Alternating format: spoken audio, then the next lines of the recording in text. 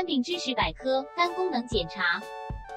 肝功能检查 （GOT） 又称为 AST、GPT，又称为 ALT，一般人常称之为肝功能指标，也有人称肝发炎指标。GOT、GPT 的正常值因每个实验室而有不同的标准，不过一般都是在三十上下。GOT、GPT 值愈高，并不表示疾病愈严重。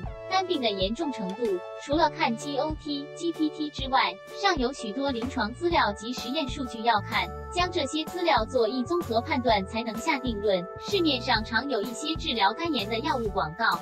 其宣称有效只是奠基于 GOT、GPT 值的下降，这理论基础是相当薄弱的。肝机能是相当复杂的，肝有没有病，并非只是靠 GOT、GPT 这两个数值就可判定。那么，当你拿到一张肝功能的检查报告时，怎么办呢？事实上很简单，请你的医师来判读，并请他给你建议。